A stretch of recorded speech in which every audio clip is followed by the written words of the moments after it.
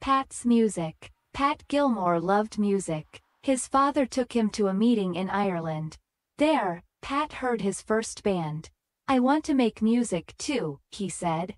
He learned to play the trumpet. At 19 years old, Pat talked to his brother. Let us go to America, he said.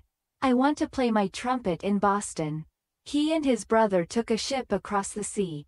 In Boston, Pat led two bands. Then, Abraham Lincoln wrote to him.